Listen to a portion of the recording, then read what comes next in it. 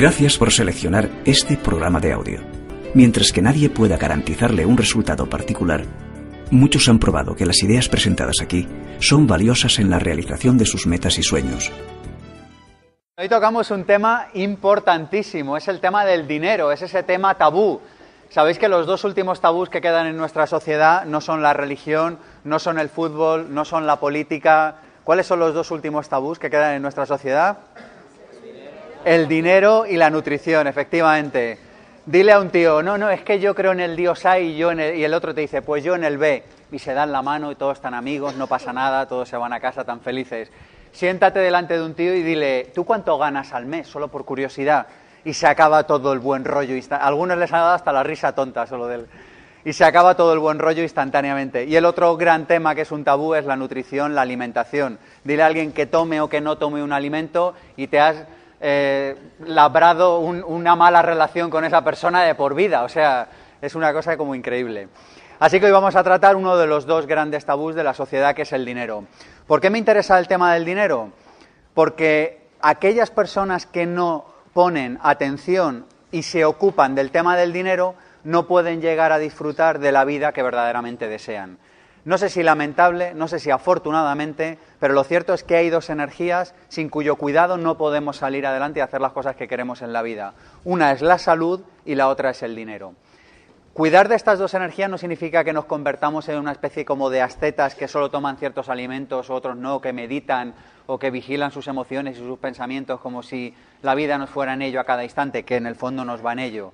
Y cuidar de la energía del dinero no significa convertirse en un tacaño, en una persona que solo habla de ello, o convertirse en una persona muy generosa. No significa nada, significa simplemente el decir, oye, necesito encargarme de estas dos energías y tengo que ponerle foco. Y si no le pones salud, foco a la salud, en lo único que pensarás es en salud antes o después. Y si no le pones foco al dinero, en lo único que pensarás es en dinero antes o después.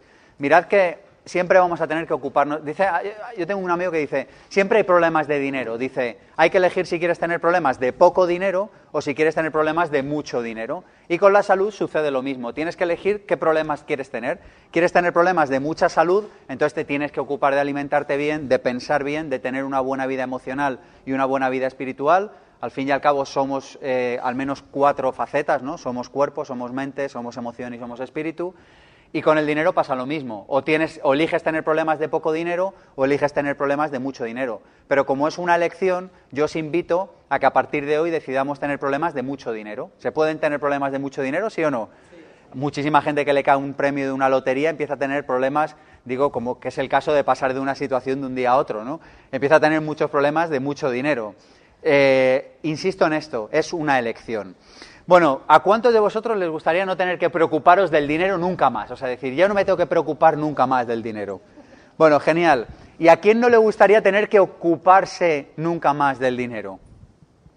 A todos los que habéis levantado la mano, podéis marcharos. O sea, no, no me importa. Pero la conferencia os va a aburrir. Si alguien se quiere ir, avisado queda. Esta conferencia va de cómo aprender a ocuparse del dinero. No, fíjate que no te estoy hablando de preocuparte, me parece muy de modé y muy hortera tener que preocuparse por el dinero. Pero tener que ocuparse, sí. Es como si decir, si yo te dijera, ¿te gustaría preocuparte por la salud? Pues hombre, no me gustaría estar preocupado por la salud, pero si yo te hubiera preguntado, oye, ¿te gustaría ocuparte de tu salud? Pues yo hubiera esperado que levantaras la mano. Así que avisados quedáis, si os quedáis es bajo vuestra responsabilidad y de lo que vamos a hablar aquí es de cómo ocuparnos de la energía del dinero. Yo hay una cosa que me pregunto una y otra vez, y es, ¿qué nos pasa para estar tan peleados con la energía del dinero? No lo entiendo. Viviré 100 años más, me reencarnaré 100 veces más y seguiré sin comprender qué nos pasa, por qué estamos tan peleados. ¿Por qué no podemos hablar con naturalidad? ¿Por qué no podemos ingresar con naturalidad? ¿Y por qué no podemos gastar con naturalidad? Ahorrar con naturalidad, invertir con naturalidad y hacer crecer nuestro patrimonio con naturalidad. No entiendo dónde está el problema porque lo cierto es que sin estar ocupado de la energía del dinero no vas a poder hacer lo que quieres hacer. Yo he detectado tres problemas al menos. El primero es que no queremos ocuparnos eh, de la energía del dinero porque sentimos que es una preocupación. Parece un juego de palabras, pero eh, vamos a, estudiar esto. O sea, decimos, no, yo no me quiero ocupar. ¿Por qué? Porque te suena preocupación, te suena que no tienes ni idea, te suena que tienes que aprender y te suena a que, no sé, a que eso es de un tipo de gente que no eres tú. Yo he escuchado cantidad de personas, también por la profesión que tenemos y que tengo personalmente en el instituto, gente que cuando habla de dinero dicen, no, no, eso no va conmigo. Digo, pero entonces que tienes un trato directo con Dios que te llena la nevera. Porque ¿cómo puede ser? O sea, es como si alguien dijera, no, el tema del amor no va conmigo. Y, no sé, vivirá en una cueva encerrado, porque no, no entiendo cómo podría ser que a alguien no le interesara el tema del dinero, el tema del amor o el tema de la salud. Así que si no te quieres ocupar, analízalo. Quizá es porque sientes que lo relacionas con otra cosa que se le parece, pero que no es lo mismo que es preocuparse. La segunda cuestión que he detectado, el segundo problema, es que tenemos muchas emociones negativas al respecto del dinero. Como o nos lo han quitado, o sentimos que no nos han pagado bien, o nos contamos a nosotros mismos que es difícil de conseguir, o no sé qué nos pasa, porque sigo, eh, mi punto de partida es claro y sincero, es no entiendo por qué tanto problema, ¿no? Pero bueno, sea como sea, lo cierto es que tenemos emociones negativas al respecto. Y lo último que quiero compartir es que necesitamos ser humildes. No podemos saber de nada en la vida de lo que previamente no hayamos dicho, no tengo ni idea. ¿Entendemos la idea? Y fijaros que cantidad de personas, por un lado, quieren ganar más dinero, pero por otro lado no formulan ni una sola pregunta a su familiar, a su amigo, a su socio, a no sé, a la persona que tienen alrededor que le va bien. Yo lo he contado esto hace muchos años, tuve la suerte de trabajar con una persona, eh, una bellísima persona, que había, bueno, pues conseguido, digamos, un cierto éxito profesional en España. Y yo le hacía preguntas, a mí me gusta siempre aprender, y yo le preguntaba cómo gestionaba cosas, cómo lo haría, no sé. Y un día le dije, oye, que tú cuando no me quieras responder, que no lo hagas, o sea, que yo te lo pregunto porque a mí me parece interesante. y la respuesta que me dio esta persona, que andaba por los 70 años, me dijo, no, si me encanta que a alguien le interese lo que yo hago. Dice, nadie me pregunta. Estábamos en una organización, me decía, eres el único de todos los que hay aquí que me pregunta, nadie me pregunta. Y yo, y yo me preguntaba a mí mismo, ¿cómo nadie le puede preguntar a este que en realidad sabe tanto de este ámbito en el que trabajamos. ¿Me, he explicado? O sea, como, es decir, que ¿por qué no somos humildes? ¿Por qué no preguntamos al que sabe? Joder, si quieres mejor, si estás hoy aquí es porque quieres mejorar tus resultados económicos. Pregunta a gente que sabe. No puedes preguntarlos, gástate 10 euros en libros y, pregúntale a un texto. Te puedes permitir un curso, ve a un curso, si no para gente por la calle, pero haz lo que sea para salir de ese estado de que yo creo que sé todo. La falta de humildad que traducido a lo que nos atañe hoy es la falta de me reconozco que no sé algo y lo quiero aprender, es lo que nos hace estar lastrados en este asunto y en cualquier otro. Fijaros que esto aplica al dinero y aplica a cualquier ámbito de la vida. Cualquier ámbito en el que no estés consiguiendo resultados es un ámbito en el que te has negado el conocimiento. Lo vuelvo a repetir, ¿eh? Cualquier ámbito en el que no estés consiguiendo los resultados que deseas, pensad un ámbito, el que sea, la pareja, eh, los amigos, lo profesional, el dinero, el que queráis, no sé. Es un ámbito en el que te has negado el aprendizaje. ¿Por qué? Porque estás en un sitio en el que tienes ideas que te llevan a unos resultados que no quieres y en lugar de moverte a un sitio en el que tendrías ideas que te llevan a resultados que quieres, decides quedarte en este sitio. O lo que es lo mismo, te has negado el aprendizaje. ¿Se comprende esta idea? Gestionar bien el dinero, en pocas palabras, por si alguien todavía tiene cortocircuito con hablar de dinero, es aprender a gestionar tu tiempo. El dinero en sí no es nada, es aburridísimo, huele mal, eh, son apuntes contables, es que no es nada, no sirve para nada. Pero para lo que sirve es para poder conseguir en el plano de lo físico llevar a cabo tu propósito en esta vida. Es decir, para saber gestionar tu recurso más limitado en este mundo, que es el tiempo. Lo digo porque mucha gente me dice, a mí no me interesa el dinero. Digo, hombre, Así como interesarme, interesarme, me interesa más un buen libro. Pero lo bueno que tiene eso es que me permite decidir, si yo lo tengo bien organizada esa energía, me permite decidir si yo quiero leer o si no quiero leer o si quiero ver atardecer o si quiero ir a trabajar. ¿Se comprende esta idea? Entonces, todos los que digáis, a mí no me interesa el dinero, ya, ya lo sé, ya, huele mal, ¿lo habéis olido? Huelen, huelen raro los billetes.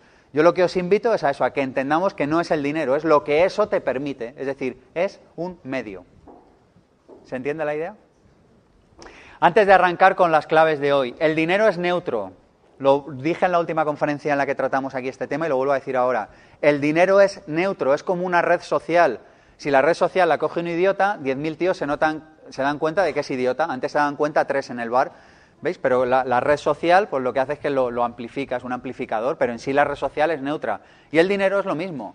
Tú le dejas dinero a una persona inteligente y hará cosas como inteligentes. Si le dejas el dinero a un bobo, hará cosas bobas. Entonces, muchas personas, yo me malicio, tengo la intuición eh, de que a veces no quieren contar con dinero porque entonces tendrían que plantearse qué hacer con él. cuando es mucho más fácil estar lamentándose de que no lo tienes. Porque siempre que te lamentas vas a tener un tío al lado que te escucha y que te va a dar la razón. ¿Esto lo sabéis, sí o no? Especialmente familiares y amigos. Tú, pruébalo, ¿eh? Haz una prueba esta noche o mañana por la mañana. Llega y di, mi jefe es un desgraciado o perico, me habla mal y no sé qué. Te van a dar la razón sistemáticamente. O sea, cada vez que te quejes te van a dar la razón. ¿Por qué? Porque te quieren. Pero el hecho de que te quieran, o sea, el hecho de que te quejes no mejora tu situación en absoluto. Si quieres mejorar tu situación, planteate un tiempo sin quejas. Date tres meses libre de queja. Date días de 24, o sea, de 20 horas sin quejas. Di, solo me voy a quejar de 4 a 8. ¿Veis la idea? O sea, si eres muy yonki de la queja, que puede serlo, o sea, mucha gente le pasa, di, yo solo puedo quejarme de 4 a 6. Entonces, si alguien te llega con una conversación de queja, di, no, llámame a las 4 y a las 4 nos quejamos juntos. Bueno, nos reímos, pero cualquier persona que se está quejando no está trabajando en su futuro. Esto, tenerlo claro. O sea, allá donde hay dos tíos que se están quejando de algo, no están trabajando en cómo mejorar su futuro. Así que yo sé que ahora la vocecita te dirá lo mismo que me dijo a mí durante años, que es, ¿qué tendrá que ver que yo me quejo con que no tenga dinero? ¿Qué tendrá que ver? Bueno, cada pequeño acto influye profundamente en los resultados que tenemos. Yo creo que todos entendemos que los hechos y las acciones que desempeñamos en nuestra vida tienen consecuencias, yo creo que todos entendemos que las palabras, no sé si todos, pero empezamos a ser conscientes de que las palabras tienen consecuencias, pero lo que creo que no todo el mundo es consciente es que los pensamientos tienen consecuencias. Así que cada vez que ni siquiera tengas un pensamiento de queja, planteate a dónde te está llevando esto. Bueno, hoy vamos a hablar de dinero y arrancamos ya. ¿Por qué quiero hablaros de esto? Pues porque yo en el año 2007 eh, estaba en una situación de la que me cansé. O dicho de otra manera, me planteé una situación nueva, mucho más estimulante a 10 años. Fijaros que la mayoría de las personas sobrevaloran la capacidad de cambiar una vida en un año. ¿Sí o no? ¿Lo habéis visto? Aguardaros a la Nochevieja, que viene dentro de poco. Preguntarle el día uno y disfruta de la mansalva de obviedades, de, obviedades de que no se van a hacer, me refiero. O sea, de la, de la mansalva de cosas que te van a decir de no, yo este año bilingüe en inglés, duplico ingresos, mejoro mi relación, gimnasio sí o no, sí, tal, ¿veis? O sea, te dirán cualquier cosa. Pero la mayoría, eh, eh, no sé, es como que le damos mucho valor a un año. Es como que pensamos, este año es mi año. Mira, chaval, este año no va a ser tu año. O sea, una vida se cambia a 5 o a 10 años. Y si haces las cosas de manera consistente y sostenida durante el tiempo suficiente, verás resultados. Pero por contra, la mayoría infravaloran, lo que yo he observado es que infravaloran lo que se puede cambiar en 5 o 10 años. Es decir, que si tú hoy te haces unos planteamientos y luego vamos a ver qué hacer con ahorro, con deuda, con algunos conceptos básicos, si tú hoy te haces unos planteamientos y los mantienes el tiempo suficiente, ¿vas a ver cambios el primer año? Quizá eres muy listo y los ves. En general casi nadie los ve. ¿Vas a ver cambios en un par de años o tres? Quizás sí, pero lo más fácil es que igual no los veas. Pero vas a ver cambios en 5 o 10 años, los vas a ver y mucho. Yo, como os comentaba, en el año 2007 me hice este planteamiento y hoy me considero que sé algo o que empiezo a saber lo suficiente como para atreverme a ponerme en un escenario para hablar de estos temas. Sobre todo porque he hecho un cambio personal en los últimos años muy importante a este respecto y lo que me apetece hoy es compartir lo que he aprendido en estos últimos ocho años. ¿Arrancamos? Genial. Bueno, pues lo que vamos a ver hoy es parte del seminario Vivir con Abundancia. Sabéis que el seminario Vivir con Abundancia es un sistema lo hemos comentado aquí en muchas ocasiones, tenéis vídeos gratuitos en Internet de partes de este seminario y de partes de este sistema, que habla por una parte de las 10 leyes de la, abundancia, que las hay, en este mundo hay leyes. El otro día, creo que lo comentaba aquí, ah, estaba en una conversación y le decía a una persona, mira, una de las leyes es la ley de la creación, todo se crea dos veces, la primera de ellas en la mente. Me decía, pues yo no estoy de acuerdo con esa ley. Yo le decía, pues yo no estoy de acuerdo con la ley de la gravedad, toma ya.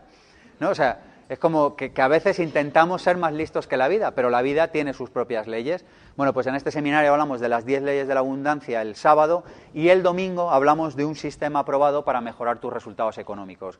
Tanto si venís al seminario como si no venís, tomaros nota, lo digo muy rápidamente, de estos ocho puntos que tratamos en el seminario, para que vosotros, si venís, genial, pero si no, podéis estudiarlos en casa también, ¿vale?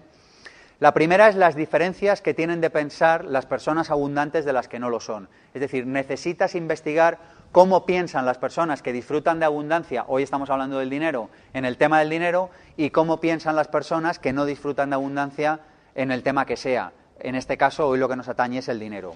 Lo segundo es la cantidad de mitos sobre el dinero que hay. Por ejemplo, el dinero es limitado. Por ejemplo, si yo tengo dinero es porque hay alguien que no lo tiene y no sé cuántas chorradas más.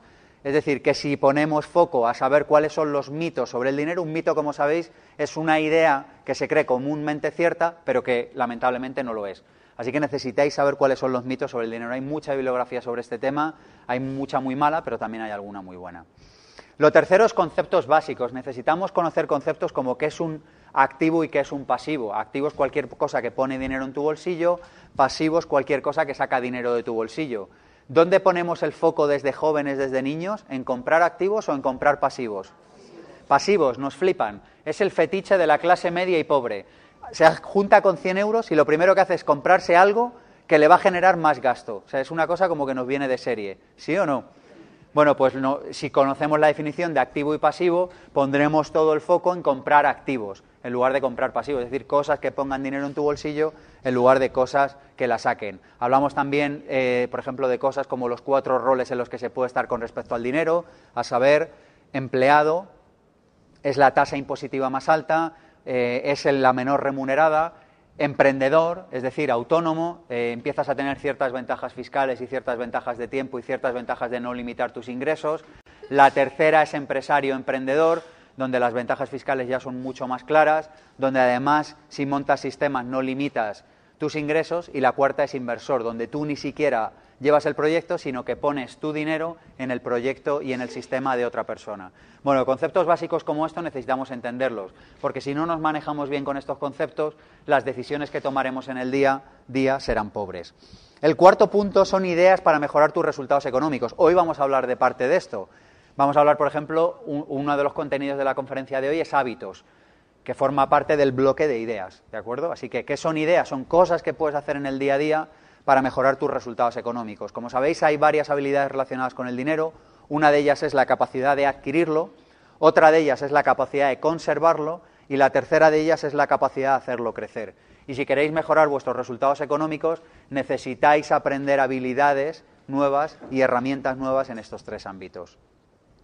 El quinto punto que tratamos en el seminario Vivir con Abundancia es el análisis de la situación. Aquí hacemos una batería de 12 ejercicios, algunos de los cuales os comparto. Por ejemplo, cuánto dinero has ganado en tu vida y cuánto has conservado. La mayoría de la población no tiene ni idea de cuánto dinero ha ganado y cuánto ha conservado. Este es uno de ellos. Otro ejercicio muy interesante es cuánta energía vital te consume cada gasto. Si tú eres capaz de saber cuánto cobras por hora de trabajo después de pagar impuestos, es decir, cuánto se te queda para ti limpio, y vamos a simplificar y dices, yo gano 100 euros la hora, si te compras una bicicleta de 100 euros, en energía vital esa bicicleta es una hora. ¿Me he explicado? Bueno, pues otro ejercicio, estos son algunos de los muchos ejercicios que os pido para que desarrolléis vuestra inteligencia financiera, pero necesitamos saber este tipo de ejercicios. Necesitamos saber cuánto nos sale la hora al año, necesitamos saber cuánto nos cuesta cada gasto en términos de horas, y necesitamos saber cosas tan básicas como cuánto hemos ganado, cuánto nos queda o cuál es nuestro balance actual. Un balance, como sabéis, es la diferencia entre mis activos y mis pasivos. Si alguien se pierde, que levante la mano y me lo diga, ¿de acuerdo? Activos es todo lo que tengo, oiga, es que no tengo nada. Bueno, pues déjelo en blanco. Y pasivos es todo lo que debo, que espero que la idea, eh, como os podéis imaginar, es que tienes que deber lo menos posible. De deuda mala. Deuda mala es la que pagas tú. Deuda buena es la que paga otro. Deuda mala, cero. ¿Lo entendemos la idea? Deuda buena es la que paga otro, deuda mala es la que pagas tú. Deuda mala, cero. Y otros conceptos interesantes que hablamos en el análisis de la situación. El siguiente punto es el presupuesto. Necesitamos aprender a hacer presupuestos mensuales. Igual que una gran corporación o un país se supone que tiene unos presupuestos serios y bien hechos, de la misma manera que se supone eso en grandes corporaciones y países, de la misma manera nosotros tenemos que tenerlo. ¿No te llama la atención que un país o una gran empresa tenga un presupuesto y tú no tengas un presupuesto anual? ¿No te está diciendo eso que tu catástrofe está servida? ¿Tú te imaginas a Mariano o a José Luis en junio diciendo, ¿y cuánto nos gastamos este año en pensiones, primo? Pues no sé, dale un poquillo más, ¿sabes? Como no, tendría sentido, o sea, el país iría a la ruina, es haciendo presupuestos y va a la ruina igual, o sea, imaginaros sin presupuestos. Así que cuando nosotros como personas o como empresas no tenemos presupuestos, lo que estamos es trabajando y poniendo todo nuestro foco en que el fracaso venga. Así que necesitamos aprender a hacer un presupuesto anual. La siguiente herramienta la he mencionado antes, es el punto número 7, es el balance. ¿Y qué es un balance? Es la diferencia entre lo que tengo y lo que debo, los activos y los pasivos. Y por último, el control de gastos. La mayoría de las personas no hacen un control. Yo sé que algunos me están mirando con cara de, hostia, ¿tengo que hacer todo eso? Casi prefiero ser pobre, macho. Bueno, todo esto lo explicamos en el Vivir con Abundancia. Para una economía sencilla son un par de horas a tres al mes. ¿Cuántos de vosotros pensáis que os podríais comprometer un par de horas a tres al mes para mejorar vuestros resultados? Fuera de broma, en serio. Dos o tres. Y para una economía compleja, es decir, una economía que tenga muchas entradas y salidas, que tenga una o dos sociedades, no sé, que tenga ya cierto patrimonio, pueden ser cinco o seis horas al mes. No es más. Es lo que te lleva. Si crees que no puedes dedicarle cinco horas al mes, pues entonces a lo mejor, no sé, tienes que ir a otro sitio, yo no te puedo ayudar. Pero cualquier cosa a la que queramos, cualquier asunto en la vida en el que queramos mejorar, necesitamos ponerle foco. ¿Hasta aquí estamos de acuerdo? Cualquier cosa a la que le ponemos foco se expande. Si no le dedico ni dos horas al mes, si tu nivel de compromiso ni siquiera es de dos horas al mes, yo no puedo ayudarte. Vamos con la parte de hábitos, que como sabéis es un subsistema dentro de la parte de ideas. Bueno, vamos con hábitos. Primer hábito, levántate por la mañana y dile a la vida, estoy dispuesto a recibir todo aquello que estés dispuesto a darme. Y tú dirás, claro, y por decir esto, ¿voy a mejorar mis resultados económicos? No solo esto, no te va a mejorar nada. Te puedes levantar, no solo decirlo, sino gritarlo por la ventana y nada va a cambiar. Pero es una batería de ideas y es una batería de hechos del día a día. Así que hábitos son cosas que hacemos cada día y que nos permiten conseguir mejores resultados. Otro hábito que os voy a invitar a que hagamos cada mañana es a que nos planteemos tres resultados. Fijaros que las personas que tienen buenos resultados económicos son personas enfocadas, son personas con foco, son personas que no se distraen. Y una persona que no se distrae es una persona que se levanta por la mañana y dice, si solo pudiera hacer tres cosas en el día de hoy, créeme, no te va a dar tiempo a hacer muchas más cosas sensatas en el día de hoy. ¿Sí o no? Se nos van los días, ¿lo veis? Llegamos a las 8 de la tarde y decimos, pero ¿qué ha pasado con el día de hoy? ¿Cuántos tenéis esa sensación de manera frecuente? Nos pasa mucho. Cuando tenemos esa sensación es porque cuando dan las 8 de la tarde no hemos hecho tres cosas importantes. Una en lo profesional, otra en lo personal. Y vamos a explicar esto. Una en lo profesional es de las 100.000 cosas que tengo que hacer hoy, de las 100.000 llamadas, de todo lo que... Si solo tuviera que hacer una cosa que va a marcar la diferencia en un futuro, si solo tuviera que hacer una cosa que, realmente fuera importante, ¿cuál haría? Y ponte un objetivo de media hora, de una hora, de dos horas, qué sé yo. Pero cuanto más pequeño sea, más fácil va a ser que lo hagas. Así que un buen hábito es levantarte por la mañana y decir, ¿qué puedo hacer yo en esto, en lo profesional? Un buen objetivo también en lo personal. ¿Y qué es en lo personal? En ti como persona, en tu educación, en tu formación, en tu salud, en cuidar de ti mismo, eh, no sé, dedicar un, poner un objetivo de hoy voy a meditar este ratito, hoy voy a leer este ratito, me voy a cuidar de esta manera, no sé, a lo mejor me voy a cuidar no haciendo nada, qué sé yo, lo que a ti te dé la gana, pero un ratito.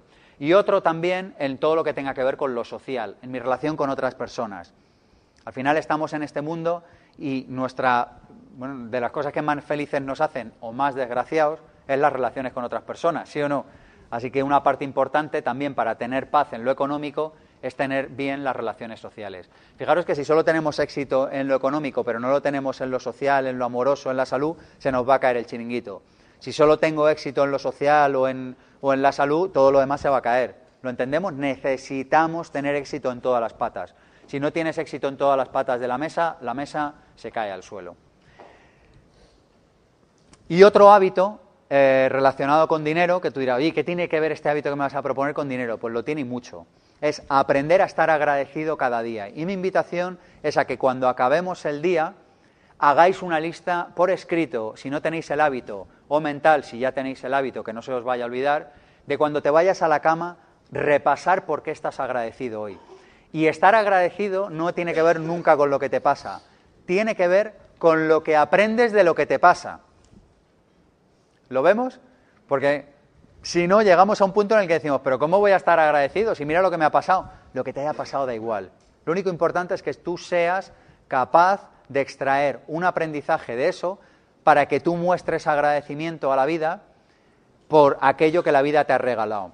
Una de las vías rápidas para ir directo, iba a decir eh, en, en el carril de la izquierda de la carretera, no, más todavía, en el AVE, más aún, en avión, o sea, el avión directo, el, turboreactor para dirigirse a la pobreza es no ser agradecido con lo poco que tengas hoy en día.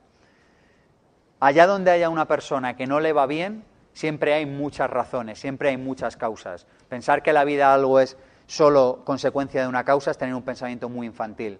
Pero allá donde haya una persona que no le va bien en lo económico o en cualquier otro ámbito de la vida, allá hay una persona que normalmente es fácil que no sea agradecida. ¿Estamos de acuerdo con esto, sí o no? Si tú eres agradecido, si te pagan 100 y tú le das un abrazo a tu jefe en lugar de criticarle y decirle que es un casposo, el jefe, no sé, aunque solo sea por confusión, te acabará pagando más. ¿Lo veis? Aunque solo sea por eso. Pero es así como funciona la energía del agradecimiento. La energía del agradecimiento te trae más de aquello por lo que tú agradeces. ¿Por qué? Porque aquello en lo que ponemos foco se expande en este universo. Pero ¿cuál es el problema? Que ganamos mil y en lugar de decir gracias a Dios y gracias a la vida que afortunado soy, que gano mil, nos cagamos en todo y decimos, pero ¿cómo puedo ser tan cutre? ¿Cómo me pueden...? Bueno, normalmente ni siquiera lo hacemos en primera persona, siempre lo decimos a otro, ¿no?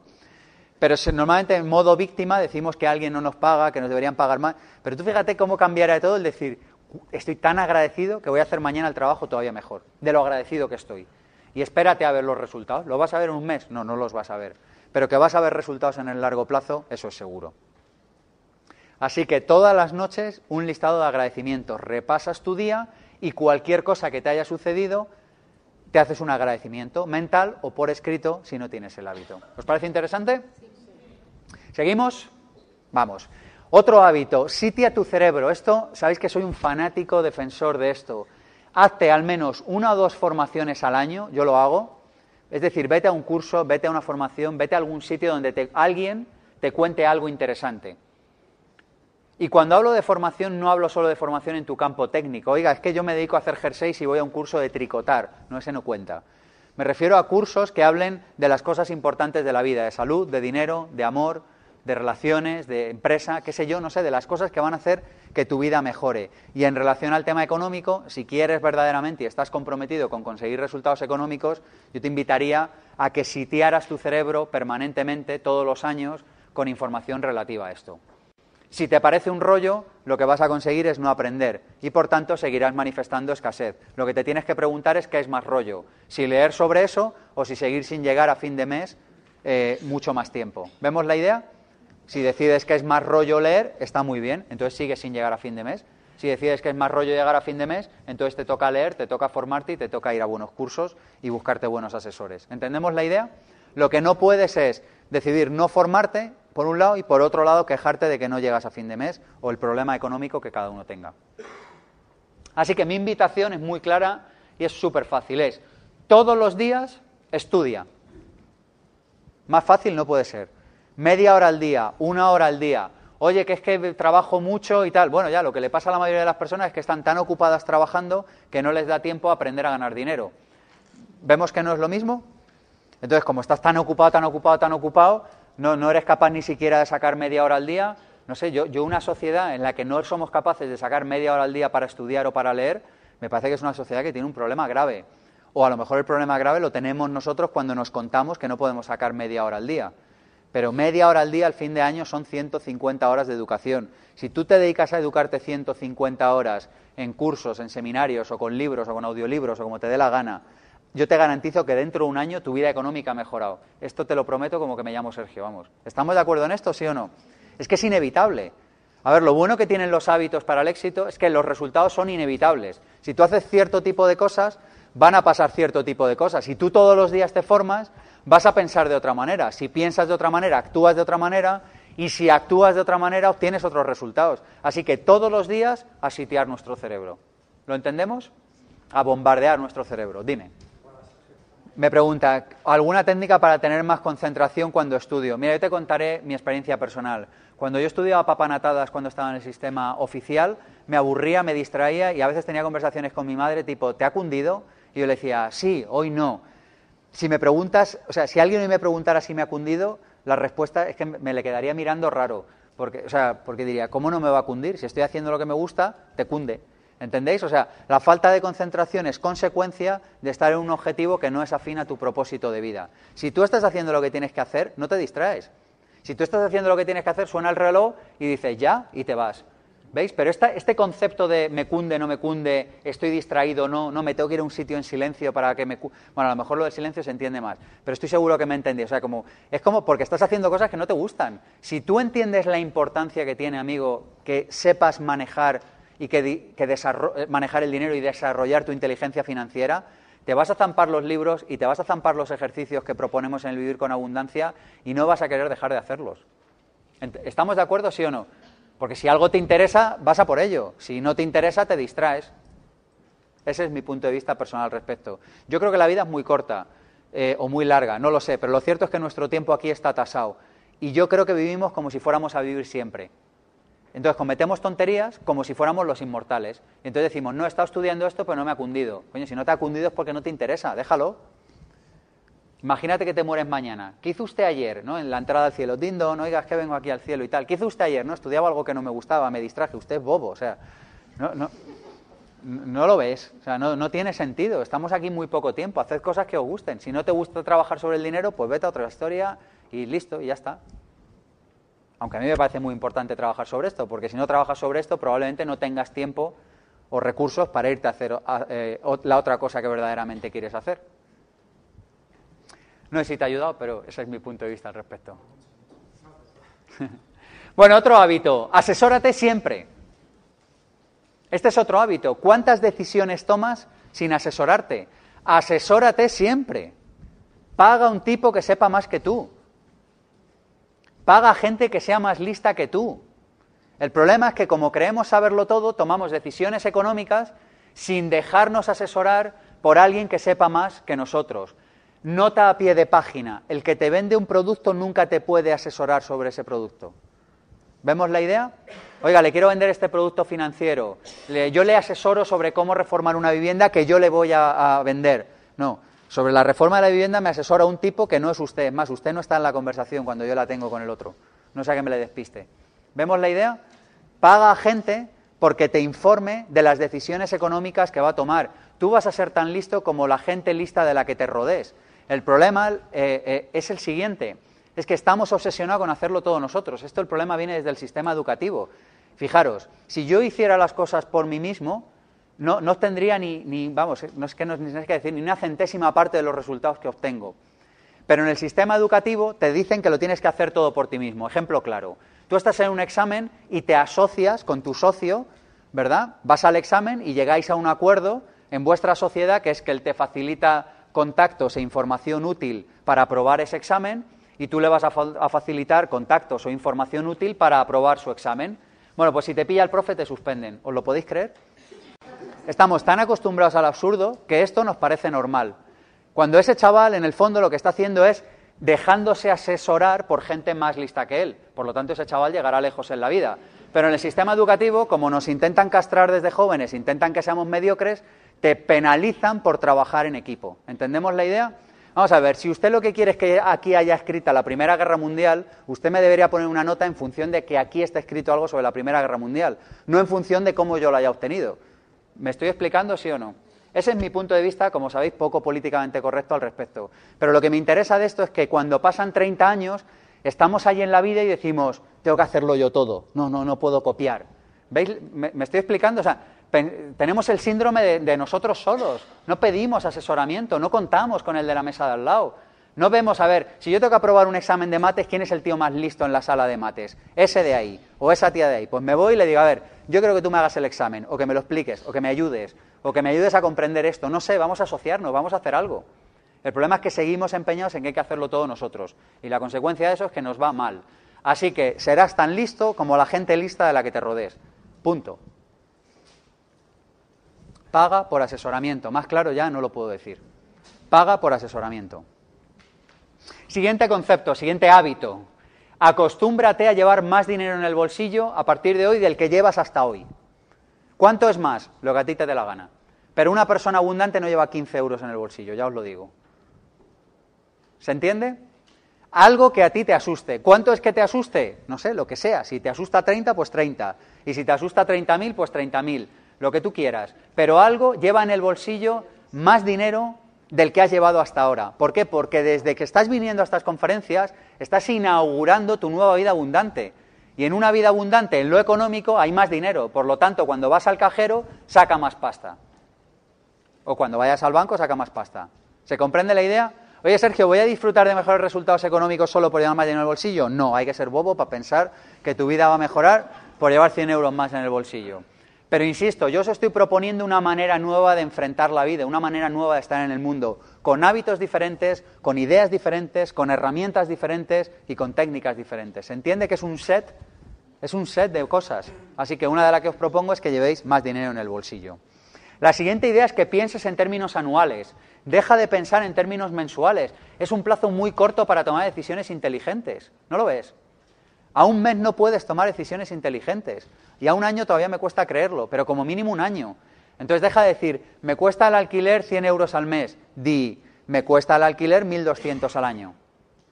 Deja de decir, este mes me gasto 70 en comida. Empieza a decir, me gasto 800 y pico en comida al año. O sea, haz todos los cálculos globales. ¿Por qué? Porque eso te permite tener partidas más grandes y conceptualizarlas mejor. Si tú dices, me gasto un mil al año en alimentación, entiendes que si ahorras un 10%, te gastas un 10% más, es una cifra importante, te permite tomar mejores decisiones. ¿Tiene sentido esto que digo, sí o no? Piensa en términos anuales y toma decisiones en términos anuales. el siguiente hábito es que a partir de ahora mi propuesta es que ahorres al menos, al menos el 10% de cada ingreso que tengas. El 10%. Si no puedes ahorrar un 10%, macho, estás muy mal. O sea, perdóname que te lo diga, pero alguien te lo tiene que explicar. Estás fatal. Es decir, si no puedes ahorrar un 10%, es que estás viviendo con el agua al cuello. O sea, estás en el Titanic con el agua aquí y estás diciendo, oye, pero se está hundiendo el barco, ¿en serio? Ah, pues ya notaba yo que estaba un poco húmedo el ambiente. O sea, estás con el agua aquí por la nariz. ¿Cómo no vas a poder ahorrar un 10%? Si no puedes ahorrar un 10%, estás viviendo profundamente por encima de tus posibilidades, pero tanto, pero tanto que estás a punto de hundirte en el Titanic y vas con el agua por aquí. 10% como mínimo de ahorro. ¿Te va a llevar el ahorro a algún sitio importante en la vida? Probablemente no, porque la inflación hace que tu dinero pierda valor constantemente. Esto lo explicamos en detenimiento en el Vivir con Abundancia. Pero lo cierto es que sin ahorro no puedes empezar a jugar otras ligas. Es decir, Solo con ahorro no llegas a ningún sitio, pero sin ahorro no llegas a ningún sitio. ¿Me he explicado? ¿Sí o no? Es decir, es un paso imprescindible, pero no es el único que hay que dar. Así que a partir de ahora, como es un paso imprescindible, nos acostumbramos a ahorrar el 10%. Sergio, ¿y cuándo toco eso? Nunca. ¿Se puede tocar para irse de vacaciones? No. ¿Se puede tocar para, qué sé yo, para cambiar la rueda del coche? No. Si has pinchado y no tienes pasta, te aguantas, pero el 10% lo, lo guardas.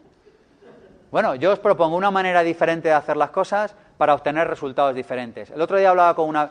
Lo que tiene mi trabajo es que hablo con mucha gente y veo mucha casuística todos los meses. El otro día hablaba con una persona que me decía, hey, ya estoy ahorrando. Digo, qué bien. Digo, ¿y, cuánto estás ahorrando? No me acuerdo el porcentaje que me dijo. Dice, fíjate si me ha ido bien que me he podido ir este verano de vacaciones. No hemos pillado nada, o sea, Digo, las vacaciones son del 10% de lujo, no del 10% de ahorro. Ahorras para tener un colchón de uno o dos años para que en el caso de que quieras dejar tu trabajo o que quieras tomar otras decisiones puedas tomarlo sin ser una carga para el Estado, para tu familia, para nadie. Es decir, para que tú puedas tomar decisiones adultas en tu vida. Pero el ahorro no es para irte de vacaciones, ¿lo entendemos? Y cuando ya tienes uno o dos años de, de colchón, de tranquilidad, ya te lo puedes llevar a inversión o te lo puedes llevar a otras partidas para que crezca. Pero lo primero que necesitas es hacerte un colchón de tranquilidad, es decir, tener de uno a dos años con liquidez para que si tú mañana decides dejar de trabajar o te pasa una catástrofe verdaderamente grave, eso no es que pincha la rueda del coche, ¿veis? Una catástrofe grave es de salud, de tener que estar un tiempo con un familiar que le queda poco, de, de gastártelo en una operación de vida o muerte, para eso sí sirve el colchón de tranquilidad, no sirve para otras cosas. Lo cierto es que las personas que conozco que tienen colchón de tranquilidad nunca lo tocamos. ¿Veis la idea? O sea, la vida es como alucinante, porque es cuando no tienes colchón de tranquilidad siempre te surgen gastos. Se te pincha la rueda del coche, se te estropea la lavadora, te pasan cosas. Cuando tienes colchón de tranquilidad no te pasa nada. Yo no he tocado el colchón de tranquilidad en mi vida, nunca, jamás. No lo recuerdo, pero ni siquiera tener ganas de hacerlo. ¿Veis la idea? Porque si lo tienes, es como que tu energía es de tranquilidad. Y como que es de tranquilidad no te pasan cosas. Esto tiene un punto de mágico que es difícil de explicar, pero lo cierto es que después de haber hablado con muchas personas y haber trabajado este tema en profundidad, puedo afirmar que es así. Seguimos. ¿Os está gustando? Vamos con más cosas. No es un colchón, no. Dice, no me, no me cabe un colchón en casa. En una cuenta bancaria, sí, sí. Da igual, si es que, a ver, el colchón de tranquilidad, el colchón de tranquilidad no es para tú ganar dinero con él, aunque si lo ganas mejor, pero no es para tú ganar dinero con él, es para tú poder tomar decisiones inteligentes en tu vida. Es para que si tu jefe te llega y te dice, pues como no hagas esto, te despido, pues tú dices, tengo dos años de colchón de tranquilidad y dices, pues si me tienes que despedir, despídeme, tú sabrás lo que haces. ¿Entiendes? O sea, es como para que la vida no te amedrante. Es como para que estés negociando con un cliente y sepas que aunque fracases con ese cliente y con todos los demás que tienes por delante, tendrías dos años, o sea, hay que ser muy paquete para en dos años no generar un ingreso si tienes salud. ¿Estamos de acuerdo en esto, sí o no? Dos años es mucho tiempo. Si tú te pones en serio con un proyecto y te pones de verdad, consigues dinero. Y si el proyecto no arranca, conseguirás financiación para que el proyecto pueda seguir tirando. A lo que voy es a que en dos años te da tiempo a conseguir nuevos clientes o te da tiempo a... ¿Os parece un tiempo razonable dos años de maniobra, sí o no? Pero si la mayoría de la sociedad española está a dos meses de la bancarrota, ¿sí o no? Los que ganan mil tienen tres mil ahorrados. Es así. Entonces yo lo que os propongo es aumentarlo hasta dos años para poder tomar mejores decisiones. Donde lo tengas da igual. La idea es que lo tengas para que tú puedas tomar buenas decisiones. Dime. Es que tú, o sea, tú una vez tienes los dos años de colchón de tranquilidad, tú luego además tienes que tener dinero en tu cuenta corriente, que este es otro dinero. ¿Entiendes? Este es el de los marrones verdaderamente grandes de la vida que con suerte nunca te pasarán, ¿vale? O sea, es un dinero que dices, cuando me muera, pues estará ahí, ya está.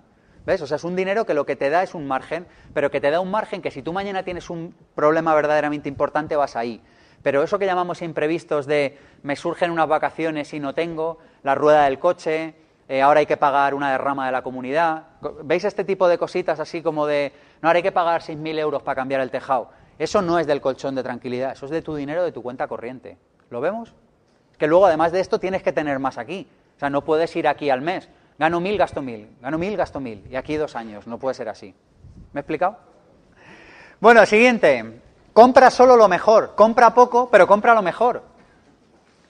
Como somos tacaños, llegamos y decimos, ¿qué me compraré? ¿Esta camisa o aquella? Y entonces te compras la mala. Y al año está rota. Y entonces te tienes que comprar otra. Conclusión, gastas el doble de dinero y además pierdes un recurso que es valiosísimo, que es tu tiempo yendo de compras, salvo que te guste como hobby, que no lo entiendo, pero bueno, a alguien le podría pasar.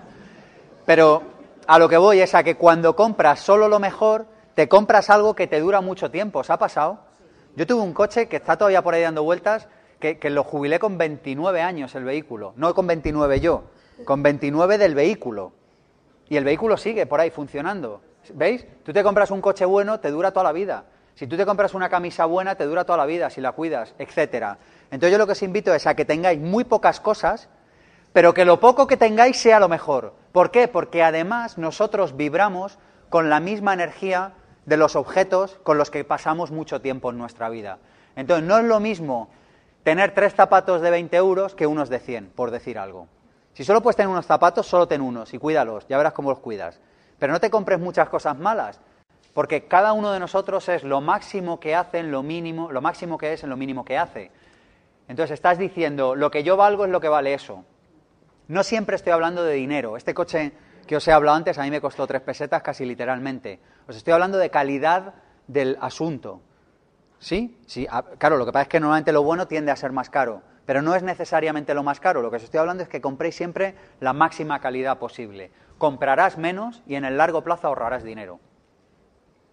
Yo sé que ahora vamos hacia una sociedad de lo contrario, ¿no? De vamos a comprar, consumir, ahora es el fast food, el fast think, el fast mueble, es todo. O sea, es que el fast coche, o sea, es todo como, como de usar y tirar. Pues mira, a mí no me interesa comprarme un coche y tirar a los cinco años. A mí me interesa comprarme un coche y que mi nieto lo siga conduciendo. Ese es mi punto de vista al respecto. ¿Por qué? Porque ese coche me va a transmitir unas emociones y unas vibraciones diferentes que un coche que se va a estropear en cinco años. ¿Lo entendemos esto, sí o no? Es que ya no solo por ya no solo por un tema económico, es un tema de calidad de vida, es un tema de, de qué tipo de objetos quieres rodear tu vida. Y además otra cosa, cuando compras objetos buenos suelen ser más caros, con lo cual te lo piensas dos veces antes de comprarlo, con lo cual acabas comprando menos y acabas comprando solo aquello que verdaderamente necesitas, lo cual en el largo plazo para colmo te ahorra dinero. ¿Lo vemos? Pues este es mi octavo hábito de propuesta, comprar solo lo mejor. Dime. Cada uno expresa lo máximo que es, o sea, lo que tú eres, en lo mínimo que hace. Es decir, tú dices, hay muchas personas que dicen, no, yo soy una persona muy generosa eh, y lo voy a demostrar en un futuro o lo demuestro ya en mi trabajo. Pero luego, en una acción pequeña, cuando deja propina en un restaurante, le deja tres céntimos. Uno es lo máximo que es en lo mínimo que hace. ¿Sabes? En, las pequeñas acciones es donde verdaderamente vemos a los seres humanos, no en las grandes. En las grandes también, entiéndeme. Pero que en lo pequeño es lo que somos. Y yo siempre pongo el mismo ejemplo. Si friegas un vaso y lo dejas mal, yo ya sé que eres un chapucero en tu empresa. Y lo sé. Tú me dirás, no, es que a mí fregar no me interesa y mi empresa sí. El que es chapucero lo es fregando un vaso, aparcando el coche, llamando a sus clientes y haciendo a que. Porque uno es lo máximo que es en lo mínimo que hace. O dicho de otra manera, como uno hace algo, así lo hace todo. No te engañes, no digas que vas a hacer A bien y B lo haces mal, porque no. si haces B mal, haces A mal también. Como uno hace algo, así lo hace todo. Tienes que entrenarte en la excelencia. Si quieres mejorar resultados económicos, acostúmbrate a hacer cualquier cosa que hagas en la vida como si fuera la última cosa que fueras a hacer en la vida. Como si eso fuera una metáfora de cualquier otro pequeño acontecimiento de tu vida. Y vivir desde ahí es vivir desde otro sitio. Porque no es lo mismo aparcar el coche como que lo dejo y tiro, que aparcar el coche y decir, lo voy a dejar perfectamente cuadrado en un sitio en el que, cuando, eh, que no sea fuera de una curva por si alguien se le va no me dé. Vele, si es que cuesta igual, cuesta exactamente lo mismo. La diferencia es que una cosa te ahorra mogollón de problemas y además te permite vivir bien, porque cuando uno hace bien las cosas tiene buena vida.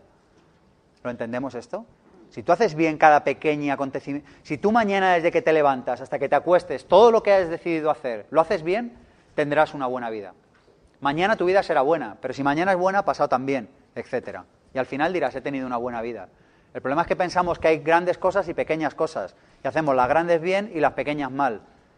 No existe tal distinción, tal distinción en la vida como grandes cosas y pequeñas cosas. Todo tiene el mismo valor en este universo. Todo. La manera en la que hablas a una persona que no te conoce y con la que no tienes que ser educada, y la manera en la que hablas a la persona que sí te conoce y con la que teóricamente sí tienes que ser educada. ¿Lo entendemos? Todo cuenta, porque eres tú siempre el mismo. ¿Seguimos? Dino al plan de pensiones. Esto, más que un hábito, es de una sola vez, pero bueno, que lo tengas como hábito por si te lo vuelven a ofrecer. En pocas palabras, mi dinero lo gestiono yo. Más sencillo no puede ser. Son legales, por cierto. nadie se lo explica, pero es legal tener un plan de pensiones. O sea que. ¿El qué? Y desgraba, claro, porque si no desgrabara nadie lo compraría. Pero, en fin, por mil razones, que si queréis en el Vivir con Abundancia vemos con detenimiento, pero por mil razones, dino al plan de pensiones. Tu dinero lo gestionas tú. Siguiente, acaba con. Dime. Bloquéalo y déjalo y que vaya creciendo y cuando te jubiles que te lo den, pero no metas un duro más allí nunca. Jamás. Siguiente hábito, no tengas deudas malas. Y acaba con todas tus deudas. ¿Qué es no tengas deudas malas? Es no vuelvas a contraer una deuda que pagas tú. Yo aquí hago una, un salvo, una, no sé, una pequeña excepción y creedme que no es porque trabaje en, la industria de la formación, que lo hago, pero lo quiero aclarar de antemano. Yo creo que solo hay una pequeña excepción a esto y es cuando uno compra formación buena que le va a permitir recuperar la, eh, inversión rápidamente. Y creo en esto porque yo mismo lo he hecho. Yo solo he pedido dos préstamos en mi vida, uno lo considero un gran error y el otro fue un préstamo para educarme. Y cuando eh, lo pedí, a los dos meses y medio o tres meses aproximadamente, ya lo había cancelado. Con lo que aprendí en el primer mes y pico de formación, al mes dos ya facturé, al tres o dos y pico lo cancelé. ¿Me estoy explicando? O sea, no pidas deuda mala y deuda mala es la que pagas tú. Pero yo creo que hay una excepción y es si esa deuda te la vas a poder quitar rápido gracias a que lo que aprendes te permite pagar el préstamo. ¿Me he explicado, sí o no? Y aún así, con mucho cuidado.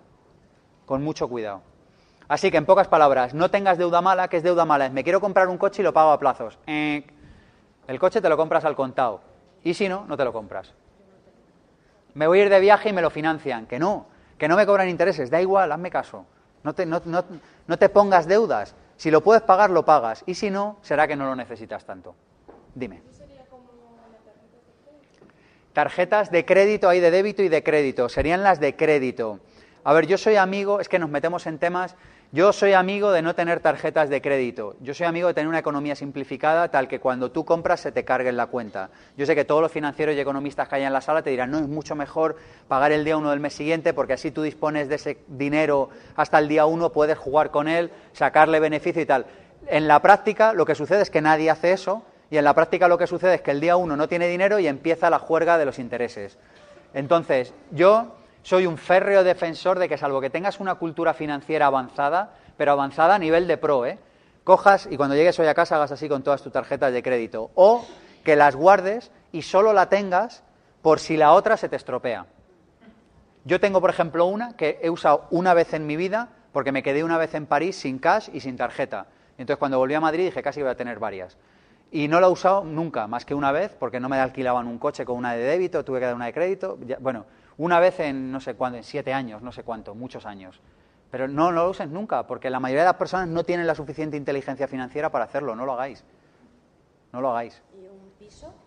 ¿Un piso? ¿Cómo te compras una casa si no es a, ¿Cómo te compras una casa si no es? a, a plazos? Pero por, y no sé cómo te compras una jirafa si no es a plazos, pero ¿por qué hay que comprarse una casa? No sé, que es una, a mí me parece una pregunta rara. Si te puedes comprar una casa, te la compras. Si no te la puedes comprar, no te la compres. ¿Entendemos la idea?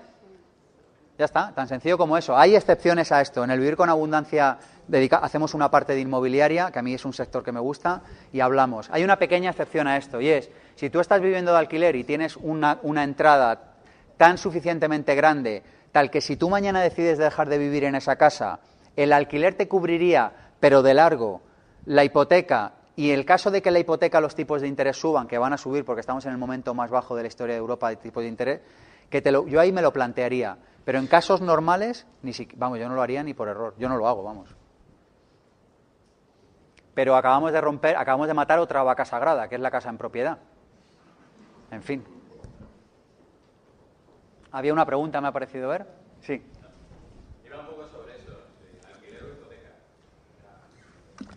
Mira, hacemos una cosa. Acabo hoy un poco antes la conferencia y luego resolvemos todas las dudas que tengáis. ¿Os parece bien?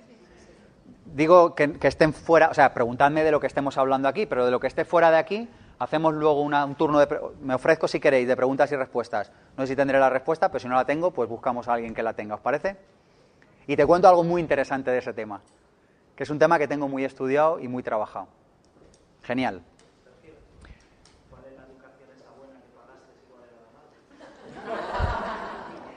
La mala fue hipotecarme con 23 años. Es legal en este país que un chaval de 23 años pida 168.000 euros y el banco se lo dé para comprarse un conjunto de ladrillos. Y como yo carecía de todo tipo de educación financiera, lo hice. Esa fue la mala. La buena, me pagué una educación en coaching. Empezó en septiembre y en diciembre o a finales de noviembre había cancelado el préstamo. Fui el primero que hizo sesiones del máster y era el segundo máster que se hacía en España, o sea, imagínate. Pero como nunca me ha gustado deber dinero y, tomé la decisión, dije, vamos, por estas que me llamo Sergio, que si no lo pago mañana, lo pago pasado mañana. Y en cuanto aprendí tres cosas, empecé a facturar con ello y si queréis os cuento cómo lo hice, aunque eso es otra historia.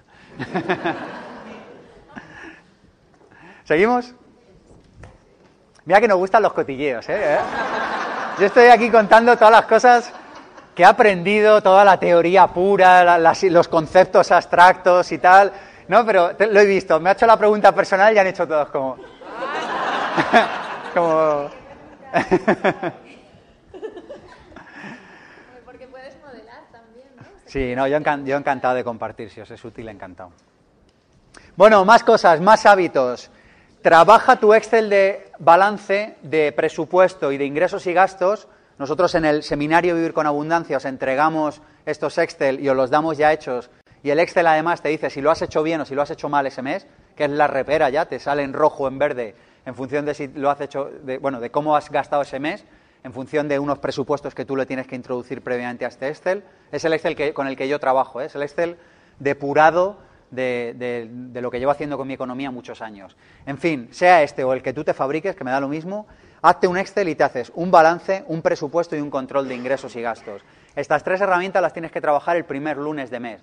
¿Por qué? Porque si no, no tienes una visión clara de lo que está pasando en tu economía. Lo digo de otra manera menos amable. Si no tienes verdad, te estás engañando. Y la verdad nos hará libres. ¿Se entiende? Si no tienes verdad, si no sabes cuánto te has gastado en la pescadería este mes, no tienes verdad al respecto de tu economía. Si no sabes cuánto te ha costado el coche, no puedes llegar a final de año y dividir entre el número de kilómetros y decir, tengo que vender este trasto y alquilar, que es lo que debería hacer la mayoría de la población en este país, por cierto. ¿Se comprende? Pero para eso necesita, necesitas tener información. La mayoría de las personas no saben cuánto cuesta un kilómetro en su coche. La, la mayoría de las personas, no digo todo el mundo, ¿eh? pero la mayoría de las personas, si supieran lo que les cuesta coger el coche aquí en Madrid, subir a la sierra, pasar el día y bajar, hicieran el cálculo a final de año, irían en un coche alquilado, no irían en su coche. ¿Se comprende? Pero para eso, yo esto me di cuenta cuando empecé a hacer esto. Es decir, si no haces los cálculos no te das cuenta, pero tú dices, claro, como pagas un día el seguro, otro día los neumáticos, otro día la ITV, dos años después el aceite, como no lo juntas todos los datos, dices, subo a la sierra y bajo 20 euros de gasolina. ¿Y cuánto te ha costado todo el mantenimiento? Te interesaría alquilar. A la mayoría, no digo a todo el mundo. Pero a lo que voy es a que si haces estos tres Excel cada mes, tienes verdad al respecto de tu vida económica. Entonces dices, tengo un coche porque es un capricho y me gusta. Genial, está muy bien. Pero entonces ya sabes que es un capricho. ¿Vemos la diferencia entre tener verdad o no tenerla? Nadie te está diciendo que lo vendas o que no lo vendas. Lo único que te digo es ten verdad al respecto de lo que está pasando. Ten verdad al respecto de cuánto te gastas en educación, en lujos. No, para mí la educación es muy importante. Final de año, 340 euros. No es tan importante. No, para mí mm, ir de bares no es tan importante. No, no gasto tanto. Final de año, una cifra acojonante. ¿Veis la idea? Pues sí es importante. Porque si has sumado todo lo que te has gastado a final de año, es que, es que tienes verdad. Si yo lo único que os digo es que tengáis verdad al respecto de lo que está pasando en vuestra vida, nada más. Así que este es otro hábito al que os invito. Siguiente, mira tus cuentas cada día, mira tus cuentas bancarias cada día. Sergio, pero es que no pasa nada, ya pasará y tendrás que hacerlo. Tú de momento coge el hábito. ¿Veis el concepto? Es decir, empieza a ponerle foco a eso, porque cuando lo abras 20 días seguidos y no pase nada, llegará un día que espabilarás, aunque solo sea por fuerza. Entonces yo lo que te invito es a que todos los días mires tus cuentas, mires tus movimientos. ¿Tú crees que si tuvieras un patrimonio de 10 millones de euros, mirarías todos o casi todos los días tus cuentas, sí o no? ¿Quién piensa que sí? ¿Quién piensa que no? Mal asunto, ya os lo digo los que. Lo mirarías casi to o todos los días o casi todos los días o tendrías delegado a alguien que lo miraría a diario, porque un patrimonio de 10 millones de euros exige que todos los días estés pendiente de él. Así que tú cógete ya el hábito. Di, yo ya tengo el hábito para cuando lo tenga. ¿Lo veis?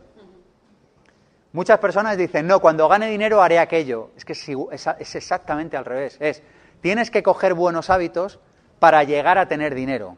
El del ahorro es un clásico en el Instituto de Pensamiento Positivo. La gente me dice, no, cuando gane más dinero ahorraré. Digo, como no empieces a ahorrar ya, no vas a ganar más dinero en tu vida. Porque vas a ir con una emoción de escasez y de no tengo nada y de voy con el agua al cuello, que resulta muy complicado sacar una empresa adelante o mejorar como trabajador cuando vas con el agua al cuello. Así que tienes que empezar a ahorrar ya. El hábito lo coges antes de tener el resultado. No es cuando tenga el resultado coger el hábito. ¿Sí o no? Pues este hábito lo mismo. Mira las cuentas todos los días. Siguiente, alégrate por cada factura que pagas. ¿Cuál es la expresión típica con el dinero? Llega a la cuenta de la luz y dices, si estos desgraciados me han clavado. ¿Eh? ¿Os suena esta frase en casa? O tienes que pagar al del taller mecánico y dices, tío, me ha cobrado no sé cuánto por el aceite del coche, me cago en su... ¿Veis? Bueno, pues yo lo que os propongo es una inversión de los términos. Así que a partir de ahora llevas el coche o no lo llevas, o te cambias de compañía o no te cambias, haz lo que te dé la gana, pero cada vez que pagues algo, alégrate, porque estás inyectando alegría en el universo.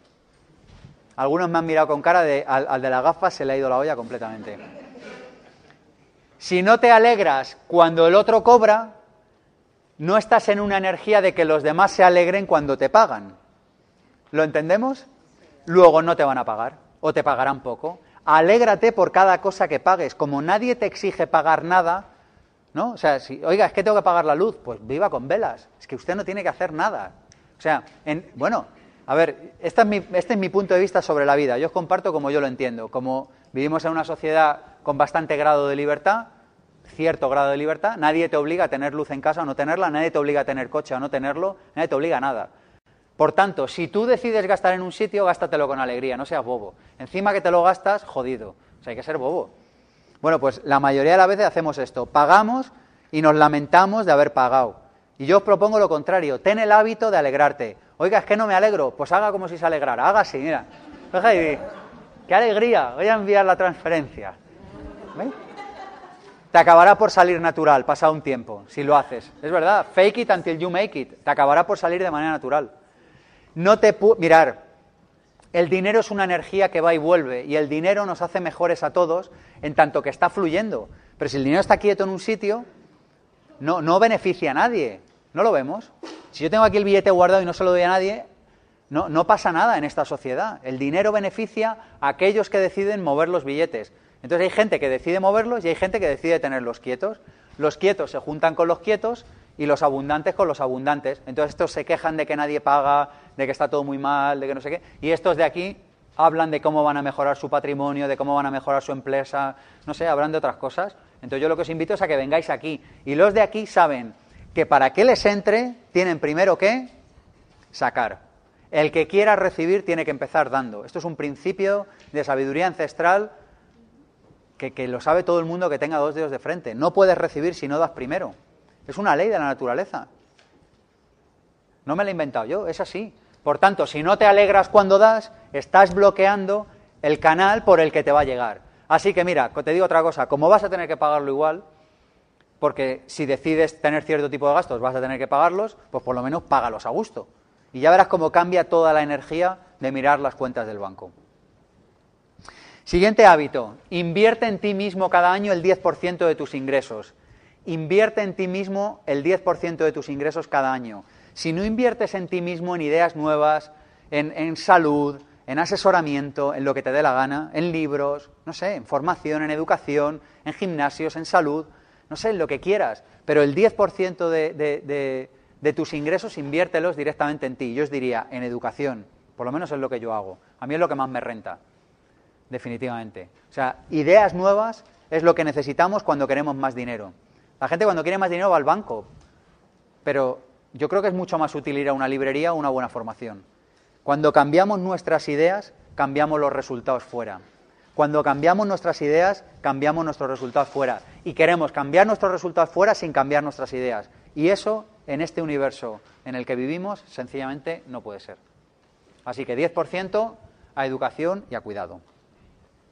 Siguiente hábito, 10% de lujos. O sea, no todo iba a ser malas noticias, ¿eh? Que algunos me habéis puesto una cara con lo del 10%, estoy diciendo 10%, 10 para ti, para aprender cosas nuevas, y algunos aquí refunfuñando, apuntando de mala gana. Bueno, pues este te gusta más, 10% de lujo.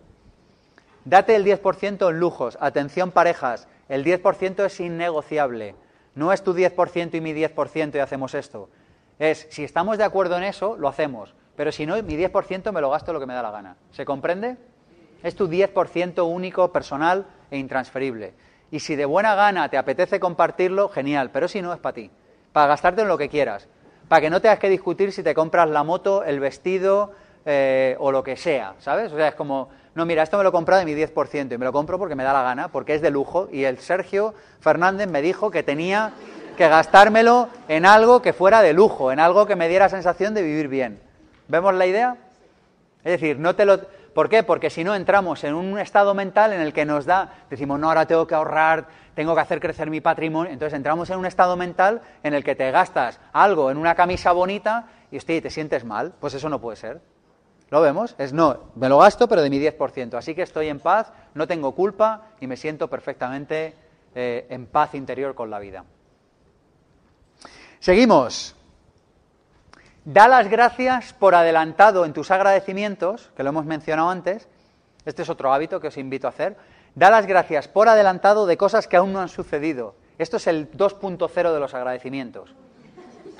Fíjate que ya no es dar gracias por lo que te ha pasado, es dar gracias por las cosas que aún no te ha pasado y que quieres que te pasen, o la versión 3.0. Da gracias por cosas que aún no te han pasado y que ni siquiera tienes idea de qué van a ser, pero que sabes que van a ser buenas.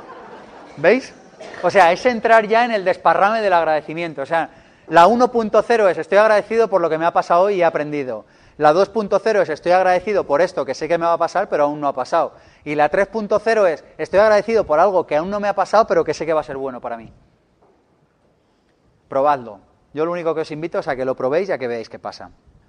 Los 2.0 es que quieres que te pase y los 3.0 es que ni siquiera yo soy capaz de imaginarme que me va a pasar. O sea, es como, me va a pasar algo tan bueno que mi nivel de conciencia actual ni siquiera es capaz de imaginarlo, pero yo ya estoy agradecido de antemano. Mola, ¿eh? Mirar qué cara se os ha puesto. Solo por la cara que se os ha puesto, la herramienta mola. Claro, porque si no se nos hubiera puesto cara moína, pero esta os ha gustado. bueno, siguiente, este va a ser duro, amigos. Espero que no me desheredéis, espero que sigamos siendo buenos amigos. Mi propuesta es, no vuelvas a jugar a la lotería hasta que no lo necesites. ¿Cómo? No queremos ni escucharlo.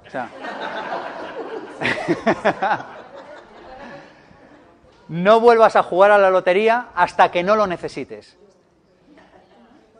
Bueno, no sé, yo, yo hago propuestas. Dime. Hasta que no necesites jugar a la lotería. Es decir, hasta que, hasta que te, sí, efectivamente, hasta que tú sientas que ya no necesitas ganar una lotería porque ya tienes lo que necesitas. Es decir, dicho de otra manera, en un largo tiempo. Bueno, yo, a ver, yo, el seminario de Vivir con Abundancia promete resultados molones en un plazo de 5 a 10 años. Si alguien os los promete en menos, yo me alegro. Yo no sé hacerlo en menos. Así que, por eso digo, yo juego siempre en la liga del largo plazo. Y es una liga que da mucha tranquilidad y mucha paz en la vida. Tú planteate algo un año e intenta conseguirlo. Vas con la lengua afuera, no, no llegas. Ahora coge y di, esto va a pasar en mi vida, yo voy a empezar a trabajar desde ya y no sé si va a pasar dentro de siete años o dentro de 24 pero me da igual, porque yo ya estoy en el camino. Esto es vivir con abundancia, amigos. Porque es vivir en la abundancia de eso desde ya. Por eso yo os digo, hasta que sientas que no lo necesitas. Y por eso yo os digo, yo creo que va a ser un, un trecho largo. Pero que si no es largo, pues mucho mejor. Pero hay que estar preparado para que lo sea. Un camino con impaciencia no merece la pena ser caminado. Ese es mi punto de vista personal al respecto. ¿Para qué quieres estar en un camino con impaciencia? Si ya lo hemos vivido, te tiras toda la mañana para subir la montaña, llegas arriba, te pones así, por algún motivo que nunca entiendo, te, pones, te pones con los brazos en jarra, haces así y te bajas otra vez la montaña. Entonces, te tiras cuatro horas para subir, tiras una foto y cuatro o tres horas para bajar. Y te pensabas que el objetivo era llegar a la cima, pero la cima ha sido un minuto, no lo vemos. Lo importante es el camino. Por tanto, si en el camino se te produce impaciencia, has perdido la mañana. Si lo bonito no es la cima, lo bonito es el camino. Si el, si el camino no tiene corazón, te has confundido de camino. Por eso digo, si es largo, pues es largo. ¿Qué es corto? Pues es corto. Es que da igual. Así que mi propuesta es que ceséis en el hábito de comprar lotería, que como sabéis es el impuesto que pagan voluntariamente los pobres por no estar dispuestos a hacer los deberes. Es muy raro, porque es un impuesto voluntario y como si pagáramos pocos, pues vamos y pagamos todavía más. Decimos, no, no, cóbreme más, que quiero colaborar con el Estado, con la lotería y con la primitiva y con el, y con la Lotería Nacional y con todo esto. No he venido aquí a hacer amigos, como podéis ver, sino a contar cosas que he aprendido que creo que pueden ser útiles. Mi objetivo aquí no es hacerme amigo vuestro, sino contaros cosas importantes. Yo hace muchos años, cuando era muy joven, jugaba alguna lotería de vez en cuando. Y hubo un día que tomé una decisión radical y fue la de no voy a volver a hacerlo. Es decir, mi mejora en el ámbito económico va a provenir solo y tan solo de mis ideas, del valor que sea capaz de aportar al mundo y de lo que aprenda. Y entonces se me fueron todas las tonterías de encima. ¿Por qué? Porque tú dices, no, si me gasto un euro a la semana, si el problema no es el euro, si el problema es que estás engañándote a ti mismo con una bazofia intelectual, que es que tú, como eres muy bueno, te va a tocar a ti porque tú lo necesitas más que el resto. ¿Os pasa esto, sí o no, sinceramente? Tú la compras, si yo lo sé, si tú la compras y dices, a mí me va a tocar, este año me toca fijo, porque lo necesito. Entonces pasa un año, pasan dos, pasan 24, pasan 40 y no te toca. Y tengo otra noticia todavía más alarmante que daros. Y es que hay un estudio británico que habla de que hizo un, un seguimiento transversal a lo largo de los años de gente a la que le había tocado la lotería. ¿Y qué pasó? Que transcurrido un tiempo que oscilaba entre 5 y 10 años, todos habían perdido, o un porcentaje altísimo, habían perdido el dinero que habían ganado. Pero además habían destrozado su red de contactos, habían tenido problemas con familia y con amigos. Es decir, la lotería en general es un mal invento para la gente a la que le toca. Y yo os podría contar más. Yo cuando era muy joven Hubo una época que no paraba de ir a concursos de televisión, porque quería sacar dinero para poderme vivir a Londres y una serie de cosas que hice. Y conocí mucha gente a la que le tocó dinero. Y la mayoría de ellos, pasado un tiempo, lo perdieron todo. Es matemático, es que no, lo veis.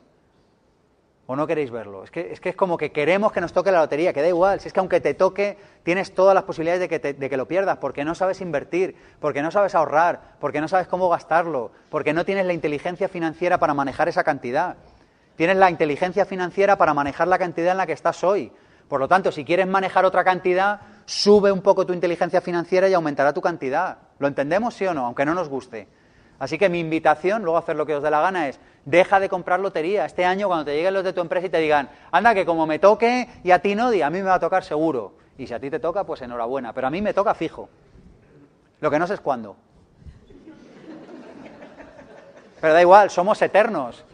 Somos eternos. Cada momento contiene toda la eternidad. ¿Qué más te da que te toque hoy que te toque dentro de 20 años? No lo vemos.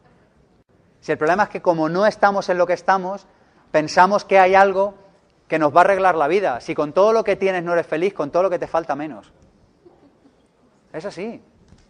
Así que mi propuesta es cesa ya de pagar el impuesto voluntario de la lotería. Y observa qué pasa. Observa qué pasa. Siguiente, haz todo legal desde el principio, ahorra mucha energía. El sistema legal que tenemos en este país probablemente no sea el mejor, pero es el que es. Y mi invitación es, hazlo todo absolutamente legal, sé minucioso, respeta cada pequeña regulación por más que te dé por saco, hazlo todo absolutamente legal. Eso ahorra una cantidad de energía espectacular a fin de año. Mucha, porque te da igual que te miren por donde te miren, está todo legal. ¿Lo entendéis? Dindo, hola, soy el inspector de Hacienda, pase, yo voy a seguir trabajando, usted haga lo que quiera, mire por ahí lo que quiera. ¿Entendemos? Hazlo todo legal desde el principio. Mucha gente se lía con esto y es de tener una mentalidad muy escasa pensar que haciendo algo ilegal te va a llegar más abundancia. No puede ser, porque desde ya estás viviendo en la escasez. Así que mi invitación es a que lo hagáis todo, absolutamente todo legal. Y como sabemos, en este país, pues no todo se hace siempre legal. Bueno, pues yo mi invitación es a que seas el más primo de la delegación de Hacienda de tu barrio porque en el largo plazo eso te va a traer muchas más ventajas que seguir con la energía de escasez que muchas personas tienen de, no, me ahorro aquí 50, no lo meto en la declaración de la renta, esto, esto que he cobrado en el comercio a un cliente no lo declaro. Tú decláralo todo, hazlo todo legal, todos los permisos, todo, hazlo todo, sé, sé el festín de la legalidad. Da ejemplo.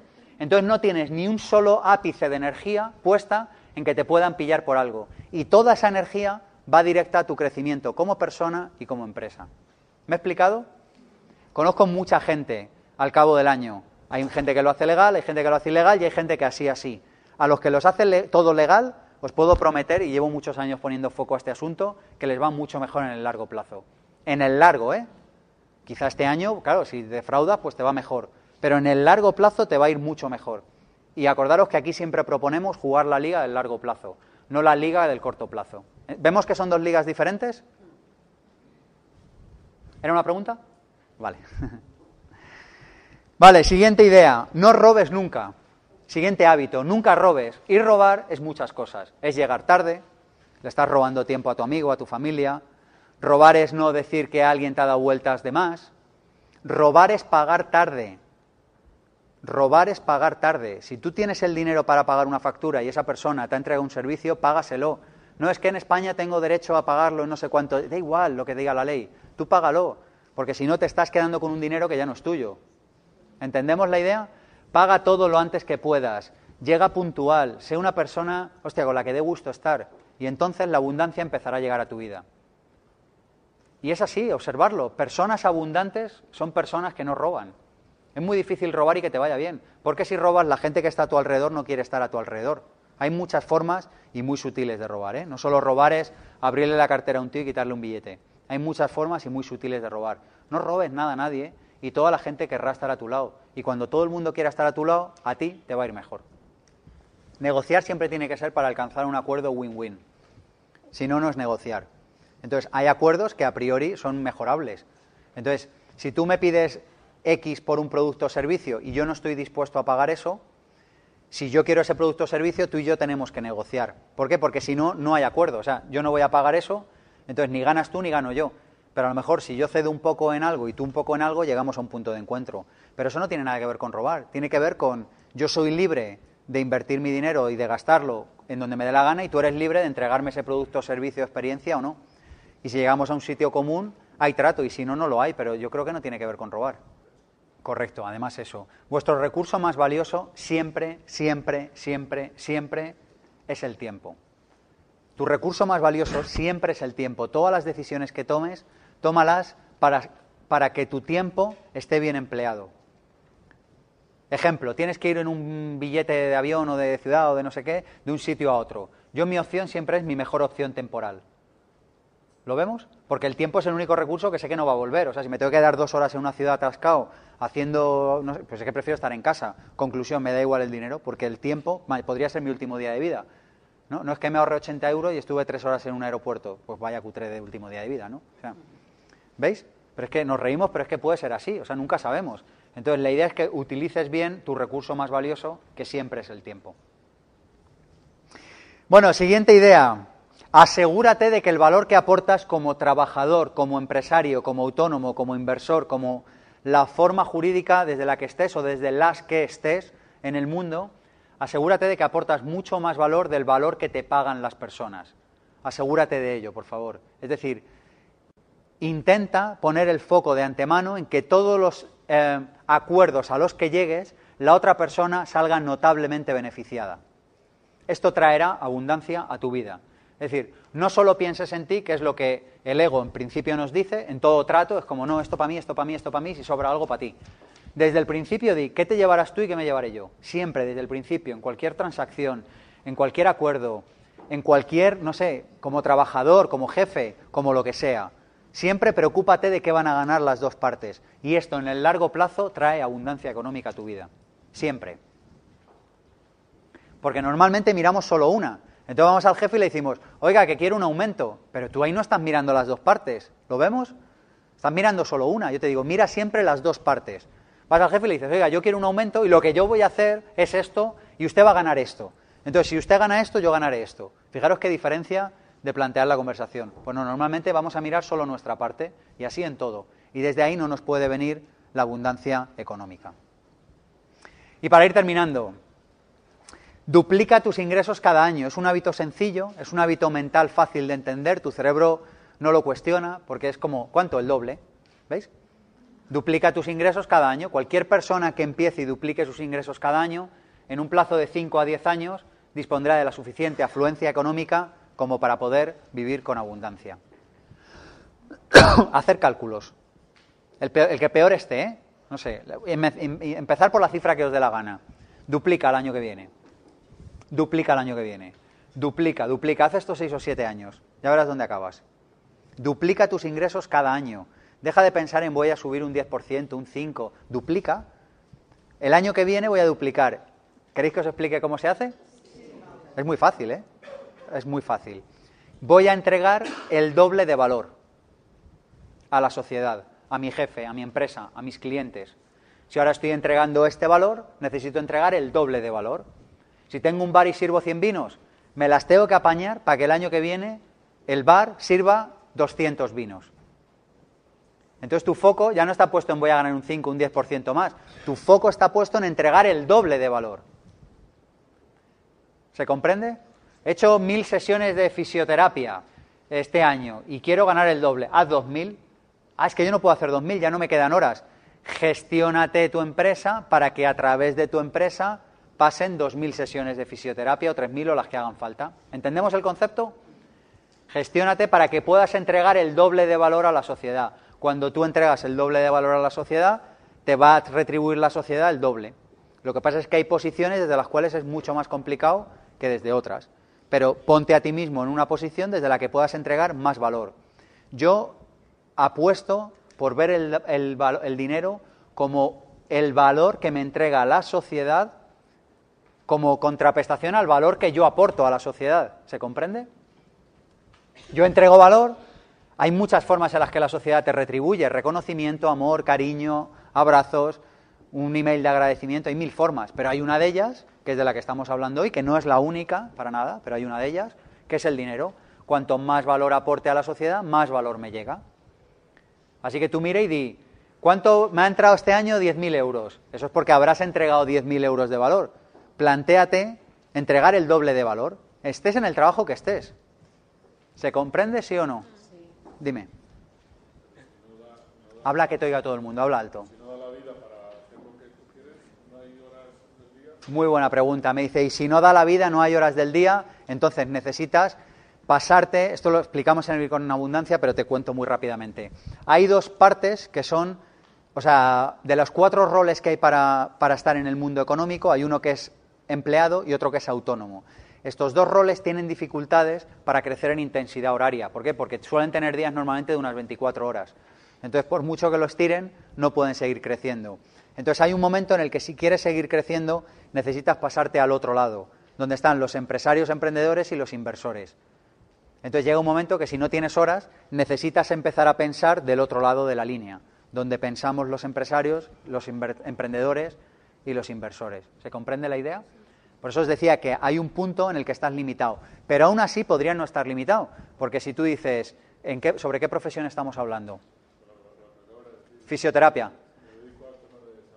Vale, pues si tú dices, yo puedo hacer buenamente cinco o seis consultas al día, por decir algo, las que tú puedas, realmente tienes, te estás poniendo un techo a tus ingresos. Sin embargo, si tú dijeras, yo voy a entregar, creo tanto en esto, que voy a desarrollar un sistema que permita a gente que conozca esta profesión igual que yo entregar el mismo valor que yo entrego. Al final, cualquier persona que es buena en una profesión tiene un sistema detrás. Lo sepa o no lo sepa. O sea, tu abuela tiene una, un sistema para cocinar la tortilla de patata. Lo que pasa es que no lo ha puesto por escrito. Si tú eres muy bueno en ese ámbito de la salud, sistematiza. Oye, esto ya no es del seminario de hoy, ¿eh? O sea, esto es de, del vivir sin jefe, pero bueno, va sistematiza eso, genera una serie de pasos que cualquier persona pueda seguir y contrata personas o cuenta con personas que puedan ofrecer esas sesiones a más gente. Es decir, duplicas el valor que entregas. Y si duplicas el valor que entregas, en el dinero que te llega, igual no te llega el doble, pero te va a llegar más del que te llega ahora, ¿sí o no? Bueno, pues imagínate qué catástrofe, ¿no? Este año no he duplicado, solo he hecho un 80% más, ¿veis?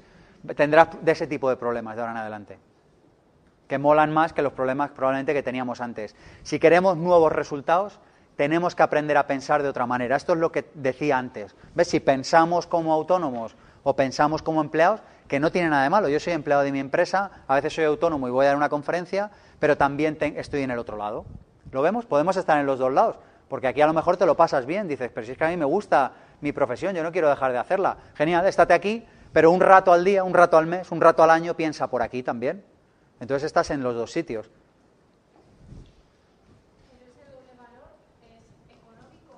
Es el, no, una cosa, una cosa es el dinero y otra cosa es el valor.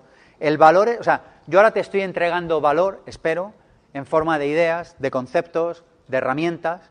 Eso es el valor. Si a ti te gusta, me retribuirás en forma económica. Hemos quedado que hay muchas formas de retribuir y que la económica es solo una de ellas. Pero si te gusta mucho, mucho, me retribuirás en forma económica. Tú entregas valor, valor es una paella. ¿Por qué? Porque tienes hambre y te la comes. Entonces ha entregado valor. Valor es una cama en un, hotel, porque estás fuera de tu ciudad y necesitas dormir en algún sitio. Entonces te entrega valor. Ese es el valor real.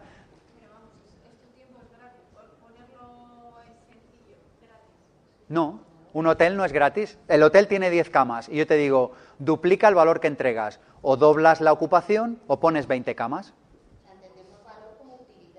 la utilidad para alguien. Valor no es dinero, valor es lo que le es útil a alguien. Si has vendido 10 bicicletas, estás facilitando que 10 seres humanos se muevan. Si vendes 20, estás entregando el doble del valor al planeta. Estás facilitando que 20 seres humanos vayan y vuelvan en bicicleta. Luego, tu retribución aproximadamente será el doble. Empieza donde, a ver, cada uno tiene que empezar donde está. Y donde está tienes margen de maniobra. Siempre donde estamos tenemos un margen de maniobra. Cuando llegas aquí, tu margen de maniobra vuelve a ser hasta aquí y así. Estés donde estés. Si lo único que te digo es, estés donde estés, entrega más valor. Este año he tenido 100 sesiones de salud. Plantéate cómo diablos te las puedes organizar para que el año que viene entregues el doble. Este año mi jefe me ha pagado tanto por hacer no sé qué. Me las tengo que ingeniar para que de alguna manera el valor que yo entrego o que organizo para entregar a la sociedad sea el doble. Si haces esto cinco o seis años seguidos, tu situación económica mejora. Si alguien esperaba cómo forrarse en tres meses, no tengo la solución. Lo siento. Muy bueno. Puede ser en términos muy. Es que, es que a ver, es que estos son contenidos del vivir sin jefe, pero me, vale. Hay dos maneras de ampliar el valor, de duplicar el valor: en número de clientes o en valor entregado. Tengo un restaurante de menú de 10 euros y voy a hacer menús de 20 euros. Voy a hacer menús tan buenos que a partir de ahora voy a entregar el doble de valor en el menú y el menú en vez de 10 va a valer 20. Efectivamente, esa es una manera y la otra es voy a duplicar. Pero todavía ya la repanocha, va, me meto, si es que me tiréis de la lengua. la repanocha es entregar el doble de valor al doble de clientes. Y entonces esto ya es la, re- la rebomba. Porque si yo vendo 100 menús de 10 euros y paso a vender 200 de 20, tu cerebro lo entiende. Si es que yo os propongo duplicar porque tu cerebro lo pilla rápido. Dices, ¿cuántos menús ha- hace el restaurante cada día? ¿30? ¿60? Estamos de acuerdo. A, a entregar más valor a la persona a la que está entregando el servicio de salud. Dime. Cuando tu valor es la información. Entrega el doble de información. Dice, cuando tu valor es la información, entrega el doble. ¿Lo ves? Cuanto más damos, más tenemos en esta vida. Si quieres recibir mucho, tienes que dar mucho. Y no lo pillamos. No lo entendemos. Seguimos siendo cicateros. Seguimos entregando valores mediocres a nuestros clientes. Seguimos no dando toda la información. Seguimos porque decimos, no, no la daré toda la información porque así me compra otra sesión. No sé, nosotros en el instituto no compartimos esa idea. Es, damos todo lo que podemos gratis, si nos pagan, si no nos pagan, o sea, todo, todo lo que podamos lo damos, lo entregamos. Ya está. Porque, cuanto, porque en el propio acto de dar, tú ya eres feliz. ¿Quién puede dar? Alguien que tiene. No lo vemos. Si tú no tienes, no puedes dar. Luego, si das, es como que haces una pequeña triquiñuela cósmica, ¿veis? O sea, dices, yo doy mucho, pero ¿cómo podría ser que diera mucho si no tengo? Entonces el, el cosmos se organiza y dice, coño, está dando mucho, deberá tener mucho, vamos a darle mucho. ¿No lo veis? Suena como a broma, pero es así. Suena como a broma, pero es así. No podemos recibir si antes no damos. Y si entregamos de manera cicatera y roñosa y tacaña, vamos a recibir en términos cicateros, roñosos y tacaños. Y esto se aplica en cada pequeña acción de nuestra vida. Así que si queremos tener más dinero, aprende a ser más generoso. Yo siempre lo digo aquí, digo, si trabajas por cuenta ajena, tu jefe tiene que sospechar de ti. Tiene que decir, me está haciendo la cama o algo, no puede ser que trabaje tan bien, si antes no lo hacía así de bien. O sea, tienes que entregar tanto valor que todo el mundo actual... Tienes que desequilibrar la balanza cósmica. Tienes que desequilibrar la balanza. Hay una ley en este universo que es la ley del equilibrio. Dice que todo lo que damos lo recibimos. Por tanto, si yo doy mucho, estoy desequilibrando la balanza. Antes o después aquí se va a poner mucho para compensar. ¿Cuándo va a ser? No lo sabemos. ¿Quién te lo va a dar? Ni idea. ¿De dónde saldrán los recursos? De donde estén. Nadie tiene la respuesta a esas preguntas. Pero lo cierto es que hay una ley, que es la ley del equilibrio, que lo explica. Y yo creo que todos, es así, y todos en nuestras vidas hemos experimentado esto. Cuando te desapegas del resultado y cuando vives con desapego y entregas y hagas lo que hagas lo haces mejor, si estás pintando una pared, dices, no, no, es que no la voy a entregar la pared hasta que esté perfecta. O sea, la, me da igual que la miren con lupa o con un microscopio. La pared está perfectamente lisa y blanca e impoluta. Y entonces ese pintor le acabará yendo bien. Y el que coge y se va a menos 5 y dice, bueno, yo creo que si, le dice al otro, yo creo que si no miran aquí al trasluz no se dan cuenta. Ese le irá mal. Y es así, es así. Así es. Porque ya vives en abundancia en ese momento. Bueno, y para terminar, amigos, amigas, acostúmbrate a dar algo gratis a la sociedad, a la familia, a los amigos. Entrega valor sin esperar nada a cambio. Acostúmbrate al propio acto de dar, al propio acto del desapego. Acostúmbrate a entregar sin esperar recibir nada a cambio de nadie. Ejemplo, esta conferencia. Acostum mete en tu vida cosas en las que des cosas. Vaya frase tan guay de un ponente, ¿habéis visto? Mete tu vida sistemas, fórmulas, métodos para entregar valor a otros seres humanos sin esperar nada a cambio. Hazlo en tu profesión, hazlo en la asociación de vecinos de tu barrio, hazte concejal de tu pueblo, haz lo que te dé la gana. Pero una parte de tu tiempo del año, una parte chiquitita, ¿eh? no tiene que ser ni siquiera una parte fundamental, pero una parte de, tu, de todo el tiempo de tu año, entrégala a la sociedad, pero entrégala desapegado. O sea, tú la entregas y dices, si a alguien le gusta bien y si no le gusta, yo estoy súper en paz. ¿Por qué? Os lo cuento. Porque la vía por la que entra la abundancia a nuestra vida es la misma vía por la que sale la abundancia de nuestra vida. Si tú no, la, la abundancia se abre, es una puerta que se abre desde dentro. Si yo estoy dentro y abro la abundancia y me sale abundancia, la abundancia va a llegar por esa misma puerta. ¿Lo vemos? Es la misma puerta. Si tú tienes cerrada la puerta por la que sale la abundancia, por la que sale el, entregar valor a otros, el hacer algo por la sociedad, por la familia, por tu vecina de puerta, eh, cuidado, por lo que sea, si es que da igual, no te va a entrar abundancia. Así que acostumbraros a incluir en vuestro presupuesto anual de horas una parte de hacer algo por la sociedad, por los otros. ¿Lo vemos? Una parte, si no tienes que estar todo el día ahí, en, ni te tienes que ir a un país en guerra, si lo quieres hacer está bien, pero que no tienes que hacer nada espectacular, si es simplemente entregar una serie de horas al año sin esperar nada a cambio, tan solo eso. ¿Os parece un ejercicio bonito? Bueno, pues antes de acabar y de terminar, que todavía nos quedan más cosas, una última cosa. Una idea que te lleves y un hábito que vayas a empezar a practicar ya. No me cuentes 24, hemos visto muchos. Uno, tú di, este ya, o sea, este lo empiezo a practicar ya, sí o sí, este es indiscutible que empiezo a practicarlo ya. Dejamos para ello un minuto, un ejercicio individual, una idea y un hábito que voy a empezar a practicar ya mismo. A por ello. Del oeste, ¿quién me comparte su hábito? Por aquí, cuéntame. No, lo que quiero hacer empieza mal.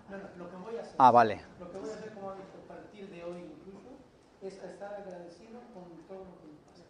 Estar agradecido con todo lo que me pasa. Eh, dime exactamente en qué consiste tu hábito, cómo lo vas a implementar. Cuando, a ver, si queremos buenos resultados en nuestra vida, tenemos que ser concretos. Voy a hacer el agradecimiento cuando me levante, por la noche, al mediodía. O sea, un hábito es algo que pasa todos los días a la misma hora, o todas las semanas, o todos los años en el mismo día. ¿Veis? Listo. Siguiente, el más rápido del oeste, por aquí. Va a ahorrar el 10% de sus ganancias. Mu- Muchas gracias. Por allí.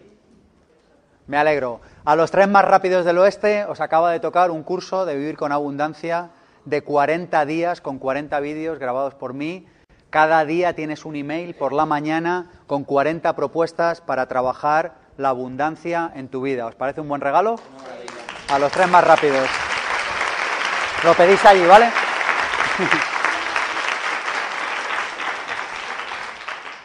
Lo sabía que tenía que levantar la mano. Lo sabía. Bueno amigos, antes de terminar, hoy es la última conferencia que hacemos antes del vivir con abundancia, así que quiero un minuto, si me lo dais, de vuestro tiempo para explicaros esto y luego vamos con lo de la hipoteca, lo de la casa y todo lo demás. ¿Tengo vuestro permiso? Si alguien no quiere, pues se puede ir, estamos todos en paz y guay, pero ha habido gente que nos ha preguntado y yo sabéis que siempre lo cuento al final. Vivir con abundancia, un seminario que el sábado te explica y te permite integrar en tu vida las 10 leyes de la abundancia y las 30 claves prácticas en forma de sistema para incorporarlo a tu vida. Una de las cuales es el agradecimiento, otra de las cuales es el 10%, otra. Hoy hemos visto algunas de ellas, ¿vale? Y el domingo lo que hacemos es explicar en detenimiento un sistema para mejorar los resultados económicos de tu vida. Vamos a ver ideas para ganar más dinero, vamos a ver ideas para conservarlo y vamos a ver ideas para hacerlo crecer. Vamos a trabajar en profundidad los mitos del dinero, vamos a hacer un cuadernito de ejercicios tranquil tranquilamente en el seminario con los 12 ejercicios de inteligencia financiera que necesitas para analizar tu situación actual y lo que has hecho durante tu vida y para entender tus creencias. Vamos a ver cuánto has ganado, cuánto has conservado, bueno, lo que os he explicado antes, 12 ejercicios. Y por último vamos a trabajar en profundidad con una herramienta que tiene el potencial de cambiar vuestra vida y os lo digo porque a mí lo ha hecho. No solo la herramienta, sino un set, que es la- el Excel que te permite hacer el presupuesto, el control de ingresos y gastos y que te explica cómo hacer un balance el primer lunes de cada mes. Es decir, os vamos a dar la tecnología del éxito para que podáis empezar a trabajar en vuestra abundancia. Que alguien acaba el seminario y después de estar las 20 horas conmigo, lo doy yo todo, después de estar 20 horas conmigo, no te gusta, levantas la mano y te devolvemos el dinero. Sergio, ¿cuánto cuesta esto? Bueno, pues valer vale mucho, pero lo que cuesta son 447. Aquellas personas que lo compren hoy se les queda en 3,97 con un acompañante absolutamente gratis. Lo hacemos el 17 y el 18 de octubre al lado de la estación de Atocha y si queréis trabajar este tema seriamente, os invito a que vengáis. A mí es un seminario que me hace muy feliz compartir, es el tercero que vamos a hacer y yo lo he creado porque mi camino para llegar hasta aquí, tener este conocimiento, pues bueno, a veces ha sido más fácil y a veces ha sido menos fácil.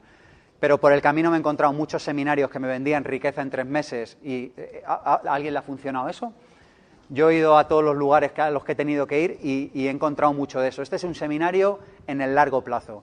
Si alguien está esperando, no, va a cambiar mi vida un año, se está equivocando de seminario. Es un seminario de hábitos y de ideas para trabajar tu economía y obtener resultados consolidados y serios en un plazo de 5 a 10 años. Quizá los consigas antes, quizá más tarde. Gracias.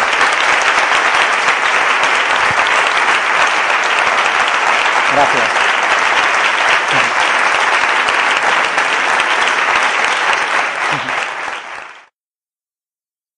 Si te ha gustado este vídeo puedes hacer tres cosas. 1. Suscríbete a nuestro canal de YouTube Pensamiento Positivo 1. 2. Compártelo con tus familiares y amigos en redes sociales. Y 3. Visita pensamientopositivo.org y apúntate a nuestra lista de correo para recibir los regalos y la información que vamos mandando. pensamientopositivo.org. Gracias por seleccionar este programa de audio.